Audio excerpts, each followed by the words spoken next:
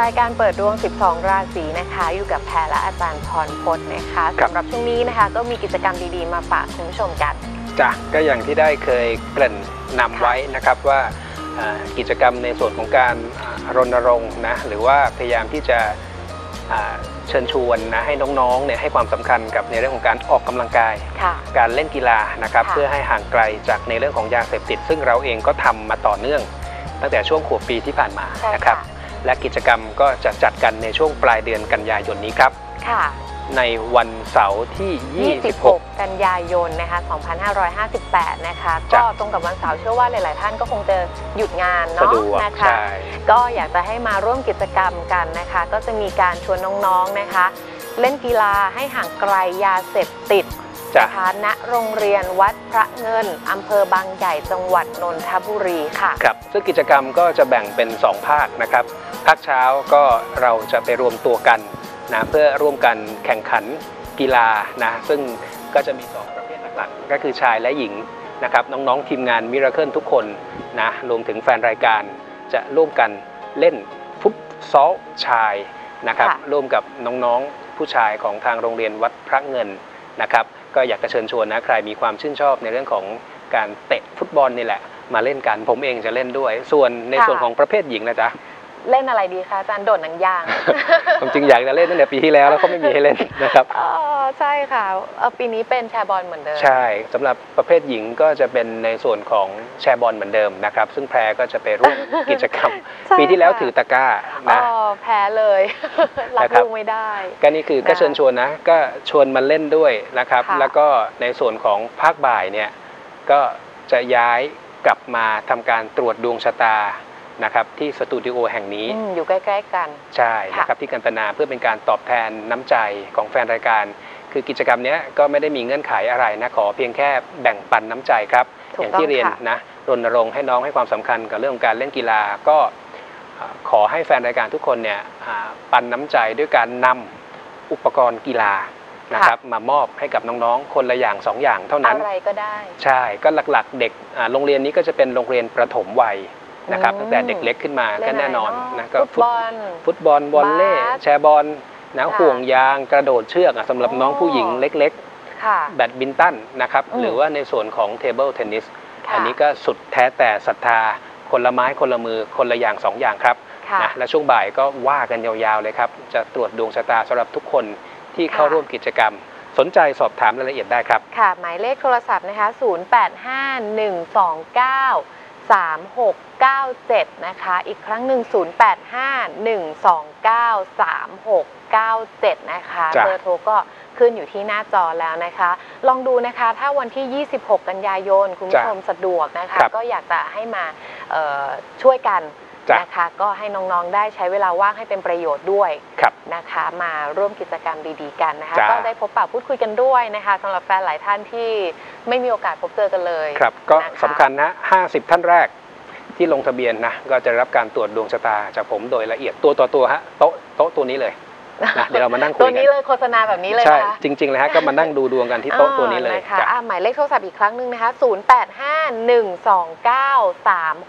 0851293697 นะคะครับเสาร์ที่ 26 กันยายนนี้ค่ะจ้า อ่าช่องทางของเรานะคะ หมายเลขโทรศัพท์เพื่อพูดคุยสายสดนะคะ 024960493 และ 024960494 ค่ะ ครับ SMS พิมพ์ PD ค่ะ วันเดือนปีเกิดเวลาเกิดข้อความที่ต้องการจะถามค่ะ 4221606 ครับ มาเริ่มตอบ SMS กันเลยค่ะ จ้ะ SMS แรกของวันนี้นะคะ จากคุณแดงค่ะ เกิดวันที่ 18 สิงหาคม ปี 13 วันอังคารตอนเที่ยงวันนะคะ ถามอาจารย์ว่าทุกอย่างในชีวิตนี่จะดีขึ้นไหมคะ ตอนนี้อยู่ในช่วงอายุย่าง 46 คือคนเราเนี่ยสาระสำคัญในชีวิตก็คืออยู่ขึ้นอยู่กับในเรื่องของงาน แล้วก็การดำเนินการการกระทำในเรื่องต่างๆ ซึ่งปีนี้กรรมะ ซึ่งแปลว่างานหรือว่าการกระทำเนี่ยมันเสีย ฉะนั้นหลายอย่างก็อาจจะไม่เป็นไปอย่างที่ใจคิดนะ อดทนหน่อยนะครับ เหนื่อยหน่อย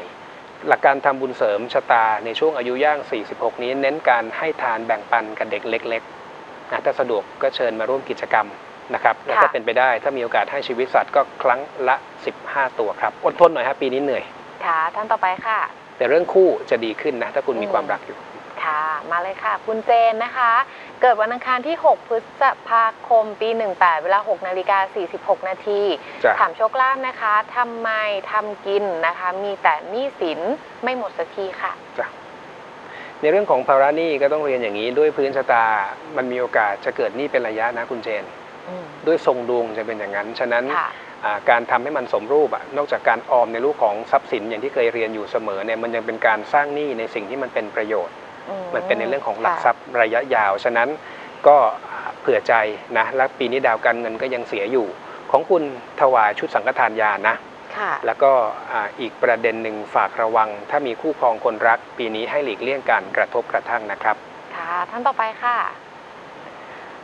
เกิดวันที่ 5 พฤษภาคมปี 20 เวลาตีสองฟ้าสว่างเป็นวันพฤหัสนะคะ ค่ะ มีปัญหากับคุณแฟนบ่อยมากเลยนะคะ เกณฑ์ความรักเป็นอย่างไรจะไปกันรอดไหมคะ ตอนนี้อยู่ในช่วงย่าง 39ในคำว่าอุตสาหะบางคนเขาบอกว่ามันแรงกว่าการลีซะด้วยซ้ำไป อืม ไม่สบายใจอึดอัดมีปัญหาเรื่องราวเดิมๆ กลับค่ะ ไม่ได้ไปไม่ถึงจะเป็นทรงอย่างนั้น และเป็นห่วงจริง ๆ นะครับ รอยต่อระหว่างย่าง 39 และ 40 ที่กำลังจะมาถึงนาการีจะสัมพันธ์ถึงเรือนคู่ด้วย ฉะนั้นไม่มีใครหวานตลอดนะทุกคู่มีปัญหาทั้งนั้น ขึ้นอยู่กับจังหวะเวลาเมื่อทักษะเคลื่อนดวงก็เปลี่ยน การทำบุญเสริมผ่อนหนักให้เป็นเบาช่วงนี้นะครับก็มาบริจาคเงินซื้ออาร่วมซื้อพวกอุปกรณ์เครื่องไม้เครื่องมือทางการแพทย์นะครับส่วนหลังวันเกิดช่วงกลางปีหน้าที่กำลังจะมาถึงเน้นการทำทานกับสัตว์ใหญ่นะ ประคับประคองอยู่กันอย่างมีระยะห่างบ้างก็ดีครับ ค่ะ ท่านต่อไปค่ะ คุณบุญสมนะคะ 27 พฤษภาคมปี 02 เวลาประมาณ 16 ถึง 16 นาฬิกา 30 นาทีนะคะจ้ะทำอาชีพอะไรดีคะ ปฏิทินตรงกับวันพุธนะครับ ถ้าไม่ใช่ค่ะวันพุธกรุณาส่งคำถามเข้ามายืนยันใหม่อีกครั้ง สุขสุภะมหาจักรพรรดินะครับ ก็ ถ้ามีฝีไม้ลายมือในเรื่องของพวกของกินนะทำธุรกิจพวกอาหารนะครับขายอาหารเกี่ยวข้องกับพวกสินค้าแฟชั่นอ่าพวกเสื้อผ้านะเครื่องประดับจิวเวลรี่กิฟต์ช็อปสิ่งสวยงามค่ะนะครับความบันเทิงพวกหนังเกมนะไม่ใช่พวกเครื่องดองของเมานะ รวมไปถึงถ้าถ้าเป็นสเกลใหญ่หน่อยก็พวกโรงแรมบูติกอพาร์ตเมนต์ที่มีเครื่องไม้เครื่องมืออุปกรณ์อำนวยความสะดวกที่ครบ ให้กับค่ะคนเช่าใช้บริการแต่ ปีนี้เกณฑ์งานเสียยังไม่ให้ลงทุนใหญ่นะครับค่ะท่านต่อไปค่ะ คุณสุมนทานะคะเอ่อเกิดวันที่ 14 กันยายน ปี 16 ตรงกับวันศุกร์นะคะ เวลาประมาณเที่ยงถึงบ่ายโมง เกิดอุดรจ้ะแต่โตที่ประจวบนะคะ ถามลัคนาราศีค่ะ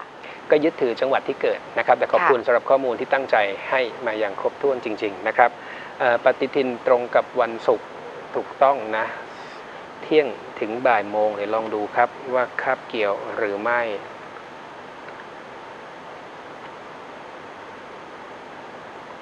ก็ลัคนายังสถิตอยู่ในราศีพิจิกนะครับค่ะพิจิกช่วงนี้ก็คงจะเตือนให้อ่าเผื่อใจหน่อยนะครับ ภาระหน้าที่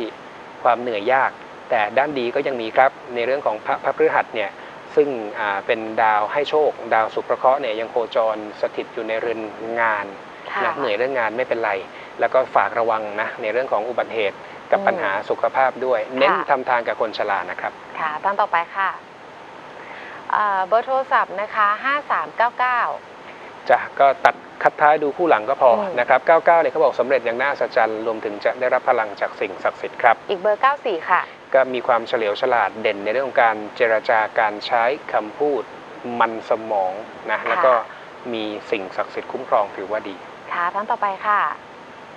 เกิดวันที่ 9 กรกฎาคม ปี 20 วันเสาร์นะคะ เวลา 10 นาฬิกา 32 นาที ปีมะเสงนะคะ จ้ะ ถามอาจารย์ว่าจะได้งานเมื่อไหร่คะ อ่าตอนนี้เพิ่งผ่านเข้ามาในช่วงอายุย่าง 39 เกณฑ์งานมันไม่ค่อยดีจริงๆนะฮะเอ่อเอาอย่างนี้ก็แน่นอนฮะทางวิทยาศาสตร์ก็ต้องพยายามเพิ่มมากขึ้น อย่าเลือกงานอันที่หนึ่งอันที่สองนะครับ ของคุณเนี่ยเกณฑ์งานใหม่บางทีมันอาจจะมีเงื่อนไขบางอย่างที่ที่อาจจะลดทอนลงไปหน่อย หรืออาจจะเลทล่าช้าเป็นไปได้ทั้งนั้นนะครับหลักการทำบุญเสริมผ่อนหนักให้เป็นเบาในช่วงอายุย่าง 39 นี้ บริจาคเงินช่วยเหลือผู้ป่วยอนาถาครับ คนที่ไม่มีเงินในการรักษาพยาบาลและที่สำคัญขวนขวายอย่าเลือกงานนะครับ ค่ะ เบอร์โทร 21 ค่ะสองหนึ่งเบอร์โทรไม่ได้เสียนะ เป็นกำลังของพระศุกร์นะเสริมสร้างความมีเสน่ห์ครับ ค่ะ ท่านต่อไปค่ะ คุณนพพรค่ะ เกิดวันที่ 28 ธันวาคม ปี 09 วันพุธกลางวันนะคะ เวลา 8 โมง 35 นาที อยากทราบว่าเอ่อจะสร้างบ้านใหม่ให้คุณแม่นะคะ จะเสร็จไหมแล้วก็การค้าขายจะไปรอดไหมคะเอ่อความจริงถ้าสร้างบ้านให้คุณแม่ก็ต้องดูดวงคุณแม่นะ แต่ว่าถ้าเกิดอืมเป็นชื่อของคุณค่ะอ่าถ้าเกิดเป็นชื่อของคุณนะครับ ก็ในเรื่องของอาการสร้างที่อยู่อาศัยอีกประมาณ 2 ปีสมหวัง 2 ปีค่ะเศษๆนะครับ ส่วนในเรื่องของค้าขายจะไปรอดไหมไม่ได้บอกว่าทำอะไรนะ แต่ปีนี้เกณฑ์งานยังแข็งแรงอยู่ แต่ที่สำคัญปีนี้ทำสิ่งเดิมให้ดี อย่าไปริเริ่มอะไรใหม่ ๆ หรือทำในสิ่งที่แตกต่าง ก็ฝากหน่อยละกันนะในช่วงในช่วงอายุย่างปัจจุบันนี้นะครับ หาโอกาสให้ชีวิตสัตว์ 19 ตัวครับ ค่ะท่านต่อไปค่ะ คุณพุทธิมนนะคะ เกิดวันที่ 4 เมษายน ปี 32 นะคะ อังคารเช้า7โมง4นาทีจะจะโอนบ้านเดือนนี้นะคะ วันไหนดีคะจันทร์ถึงศุกร์ เนี่ยดวงไม่เคยโกหกผมหันกล้องไหน พันธุเป็นสีนะก็ได้สมหวังส่วนเดือนนี้วันไหนดี ของคุณความจริงวันมงคลห้ามที่ผมจะให้อะนะของคุณเพียงแต่ว่าเลี่ยงวันจันทร์เท่านั้นนะค่ะ เดี๋ยวลองดูนะว่า เอาอย่างนี้นะวันที่ 9 พุธที่ 9 กันยานะทำเอกสารทันไหมนะครับ เพราะว่าทางกระโยกก็เป็นวันธงชัยนะครับแล้วก็ช่วงเวลาอ่าแต่เวลาที่เหมาะสมเนี่ยนะครับเป็นยามพุธพุธมันมีทั้งช่วงเช้าและช่วงเย็นนะแต่ผมไม่แน่ใจว่าเป็นเวลาทำการหรือเปล่าค่ะไม่ได้หลังห้าโมงกรมที่ดินน่าจะปิด เดี๋ยวลองดูนะครับ เอาอย่างนี้ก็ได้จ้ะ วันวันศุกร์นะศุกร์ที่ 11 นะครับ ช่วงกลางวันบ่าย2โมง31 นาทีค่ะอ่าถึงถึง 15 นาฬิกานะถ้าจำกัดเวลาได้ แต่ถ้าจำกัดเวลาไม่ได้ก็ถือว่าวันเนี้ยก็ยังเป็นวันมงคลครับนะคะอะช่วงนี้มีสายจากคุณผู้ชมทางบ้านนะคะ สวัสดีจ้ะค่ะ สวัสดีค่ะ สวัสดีค่ะ คุณอะไรคะ วันเพ็ญค่ะ วันเพ็ญวันเพ็ญชื่อวันเพ็ญ จ้าวันเดือนจ้ะ ปีเกิดค่ะ อ่า เกิดวันที่สิบเจ็ดพฤศจิกาจ้าเอ่อสองสี่เก้าเก้าค่ะ ค่ะ เกิดวันเพ็ญเลยแน่เลยสงสัยอยู่เหมือนกันนี่นะคะอ้าวเวลาเกิดค่ะ ค่ะ อ่า หลังเที่ยงคืนค่ะ เอ่อฟ้าสว่างเป็นวันอะไรครับ เป็นวันอาทิตย์อะค่ะ คือ 17 พฤศจิกายน 2499เนี่ย ปฏิทินมันตรงกับวันเสาร์ถูกไหม ค่ะ คุณเกิดหลังเที่ยงคืนของวันเสาร์ค่ะฟ้าสว่างเป็นวันอาทิตย์ค่ะจริง ๆ แล้ววันสากลคุณเกิดวันอาทิตย์ที่18ถูกไหมค่ะนะ ฉะนั้นอ่าอันนี้คือการให้ข้อมูลแต่ไม่เป็นไรอันนี้มีโอกาสได้พูดคุยกันเลยสอบถามรายละเอียดได้นะฉะนั้นในทางโหราศาสตร์ก็ยังถือว่าคุณเป็นคนวันเสาร์อยู่นะครับ ก็ค่ะจริงอย่างค่ะที่แพรบอกแม่นมากเลย เกิดขึ้น 15 ค่ำเดือน 12 เอาถึงชื่อวันเพ็ญไงค่ะจ้ะวันลอยกระทงเลยหรือเปล่าฮะ ค่ะวัดลอยกระทงค่ะจ้ะมชื่อชื่อเป็นเป็นอะไรหรือเปล่าคะอ่า สะกดวันเพ็ญตรงตัวเลยใช่ไหมจ๊ะค่ะ ก็ชื่อเนี่ยอ่าในแง่ของทักษะผ่าน แต่ว่าเลขศาสตร์มันจะมีผลในเรื่องของ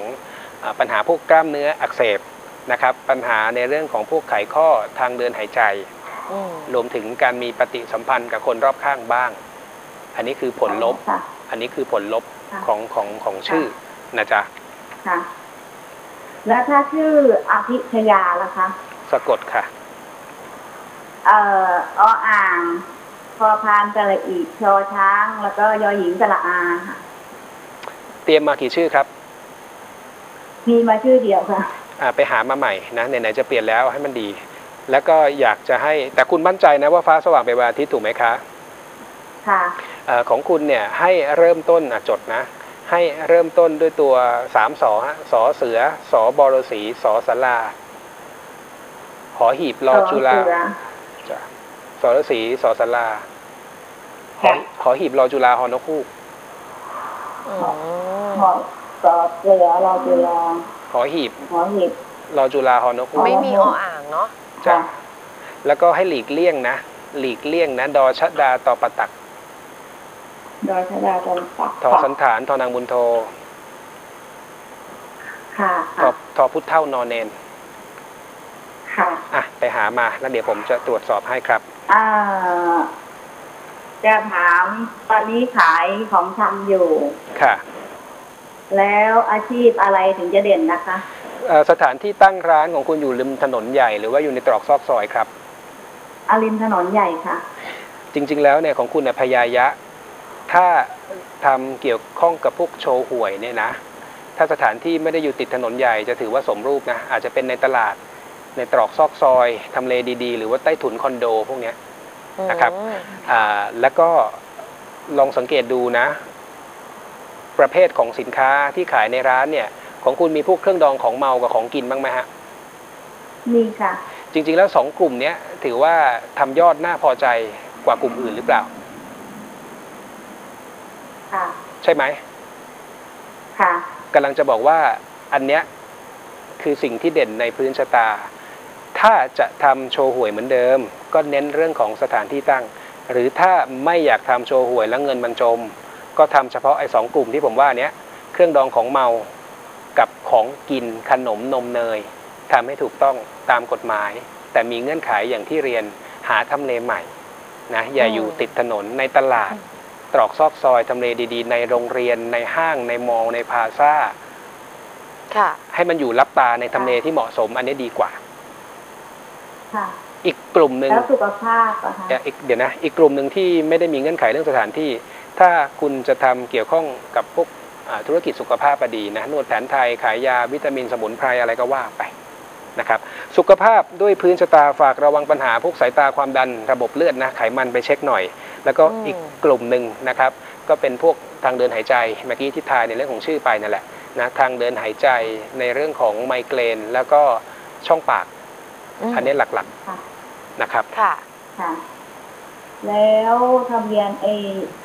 บ้านเลขที่สามสี่ทับหนึ่งเอ่อครั้งหนึ่งเลขที่บ้านไม่ได้เสียอะไรนะทะเยอทะยานแต่บางครั้งใจร้อนนะครับ ค่ะ เอ่อเลขรถสี่ห้าสอง452 เป็นคู่มิตรอ่าเป็นขอขออภัยเป็นคู่ธาตุดินนะฮะเลข4ก็มีความเฉลียวฉลาด เลขบ้าอ่าเลขทะเบียนรถก็ถือว่าเป็นมงคลอยู่แล้วครับ ค่ะ เบอร์โทรศัพท์สามหกสองอ่า62 สุเพราะห์ข้อคู่เสริมเสน่ห์นะเหมาะสำหรับการทำมาอืมค้าขายเรื่องของกินด้วยตัวเลขค่อนข้างดีหมดเลยเนาะจ้ะสองเก้าเก้าสองห้า เอ่อเหมือนกันฮะก็มาที่ค่ะ5225 ก็เป็นดาวคู่ธาตุดินมีหลักฐานความมั่นคงเลข9พระเกตก็หมายถึงสิ่งศักดิ์สิทธิ์และความสำเร็จ ค่ะสี่สองสามอุ้ยใช้หลายเบอร์จังนะจริง ๆ แล้วเอ่อถ้าเทียบกันแล้ว2เบอร์แรกดีกว่านะเบอร์นี้ค่ะถ้าไม่จำเป็นต้องใช้เยอะก็ปิดไปนะฮะสองเบอร์แรกดีกว่าใช่ไหมคะใช่ใช่อืมนะของคุณนิดเดียวสำและของคุณเนี่ยนิดเดียวในเรื่องของอาชีพ พอดีในแง่ของสถานที่ตั้งนะแล้วก็อยากจะให้เน้นใน 2 กลุ่มที่ผมบอก เพราะจริง ๆ แล้ว 2กลุ่มที่ว่าเนี้ยอดมันก็เดินดีกว่าสินค้าตัวอื่นอยู่แล้ว ที่คุณทำอืมเนาะงงงงงงหรือเปล่าครับ มีสับสนอะไรป่ะถามถามเพิ่มเติมได้นะฮะเออเออคือกับตนเรื่องเรื่องนี่แหละ เรื่องค้าขายนี่แหละก็เมื่อกี้อย่างที่ผมบอกไงในร้านที่คุณทำอะเรื่องของกินกับพวกเครื่องดองของเมามันยอดมันดีกว่าตัวอื่นถูกไหม ในโชว์หวยที่คุณทำอยู่หลาย ๆ อย่าง ก็ฉะนั้นก็มีโจทย์อยู่สองอย่าง คือถ้าทำโชว์หวยต่อหาทำเลใหม่ที่ไม่ได้อยู่ติดถนนนะหรือว่าทำของกินกับอ่าในเรื่องของพวกเครื่องดองของเมาเนี่ย เฉพาะเลยสองอันเนี้ยค่ะไม่ต้องมีเบ็ดเตล็ดอย่างอื่นก็ได้ แต่มีค่ะเงื่อนไขเรื่องสถานที่เหมือนกันนะอยู่ในตลาดค่ะอะไรพวกเนี้ยที่มันทำเลดี ๆ จะเหมาะสมกว่าค่ะ ค่ะ เนาะหกๆแล้วก็ทำบุญอะไรคะ ของคุณปีจรนี้เน้นเนี่ยตักบาตรถวายเพลพระนะสังฆทานสดหาโอกาสทำนะให้ได้อย่างน้อยสักสัปดาห์ละครั้งก็ยังดีครับ นะคะค่ะ ค่ะมีอะไรเพิ่มเติมไหมคะ คุณวันเพ็ญอ๋อ แล้วแล้วลูกลูกนี่จะอาศัยได้ไหมคะ ลูก ก็มีเขาเรียกว่ามีกระทบกระทั่งกันบ้างนะแต่โดยรวมถือว่าเขาก็เก่งเขาก็ดี นะก็พอที่จะถ้อยทีถ้อยอาศัยกันได้ครับ แต่อย่าไปคาดหวังเยอะนะได้ได้ตามในระดับที่ที่เหมาะสมอะพอประมาณนะพอจะค่ะช่วยเหลือพึ่งพากันได้ครับอืมค่ะค่ะจ้ะค่ะโอเคนะขอให้โชคดีนะคะ ขอบพระคุณค่ะ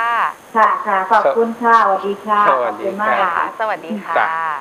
อ่าละมาต่อกันที่ SMS นะคะ จากคุณวานิดานะคะ เกิดวันที่ 27 มีนาคมปี 34 วันพุธ เวลา 22นาฬิกา44 นาทีนะคะ การเรียน การงานแล้วก็ความรักค่ะ ก็เป็นพุธกลางคืน โอตัวนี้ยังเรียนอยู่นะอืมย่าง 24 ย่าง 20 อะ เกณฑ์ในเรื่องของการศึกษา ถ้าเทียบกับปีที่แล้วเนี่ยดีขึ้นนะ แล้วก็ให้เรียนเป็นทีม หาคนช่วยติว ช่วยกันเก่งข้อสอบนะครับ ส่วนในเรื่องของงานล่ะแต่งานปีเนี้ยอ่าแบ่งเวลาให้ดีนะ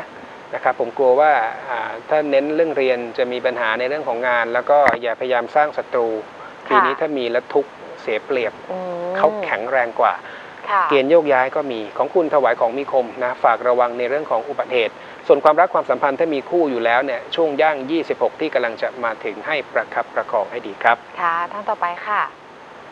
คุณสุภาพรค่ะ เกิดวันที่ 25 กุมภาพันธ์ ปี 36 วันพฤหัสเวลา 3 นาฬิกา 3 นาทีเช้าเป็นวันพฤหัสนะครัคะบอาชีพคู่ครองแล้วก็ทำบุญค่ะเอ่อ ก็เป็นคนวันพุธกลางคืนในในทางโหราศาสตร์อยู่นะครับ ถามว่าอาชีพอะไรที่เหมาะสมที่สูงนะครับเออของคุณอ่าที่เด่นที่สุดนะอาจจะไกลตัวจากความเป็นลูกผู้หญิง ฝากไว้พิจารณาอ่าตัดผมชายนะครับค่ะไปเรียนได้ ธุรกิจที่เกี่ยวข้องกับเรื่องของกีฬา เครื่องจักรกลยานยนต์นะคาแคร์ประดับยนต์ พวกขายพวกอ่าพวกอาวุธของมีคมอย่างค่ะถูกต้องตามกฎหมาย ถ้าเป็นลักษณะพวกงานขายตรงก็พอทำได้แต่ต้องขวนขวายและก็เหนื่อยหน่อย การทำบุญเสริมในช่วงปีจรนี้ ถ้ายังไม่ได้ถวายเทียนพรรษาขอให้ไปทำและช่วงนี้ถ้าเข้าวัดทำบุญอย่าลืมหมันค่ะทำบุญน้ำมันตะเกียงครับ คู่ครองค่ะ ความรักความสัมพันธ์อ่าปีนี้อ่าปีนี้เนี่ยอายุมันโยงพยายะ ถ้าโสดได้เจอ แต่ระวังอืมคนมีคู่ ถ้ามีคู่อยู่แล้วให้ประคับประคองอาจจะจืดจางลงนะครับ ค่ะท่านต่อไปค่ะ คุณน้อยนะคะอ่าเบอร์โทรศัพท์นะคะ45 กับ 63 ค่ะจ้ะสี่ห้าเนี่ยก็บอกว่าเก่งทั้งทางโลกทางธรรม เป็นคู่เลขแห่งการวางแผนค่ะส่วนสุขปากหวานอังคารรับเอาเป็นคู่มิตรเสริมเรื่องรักด้วยจ้ะและรถนะคะ 4124 ค่ะ อันนี้น่าจะเลือก ตามหลักเกณฑ์ที่เหมาะสมอยู่แล้วนะจ๊ะสี่หนึ่งก็บอกเป็นเลขแห่งความสำเร็จนะสองสี่จันทร์ชมตรูพุทธนงเยาว์เป็นคู่มิตรครับเอาละค่ะ เดี๋ยวไปพักกันสักครู่นะคะ ช่วงหน้าพูดคุยสายสดนะคะ หมายเลขโทรศัพท์ 024960493 024960494 ค่ะครับ SMS PD ค่ะ วันเดือนปีเกิดเวลาเกิดข้อความที่ต้องการจะถาม 422 1606 ไปพักก่อนสักครู่ค่ะจ้ะ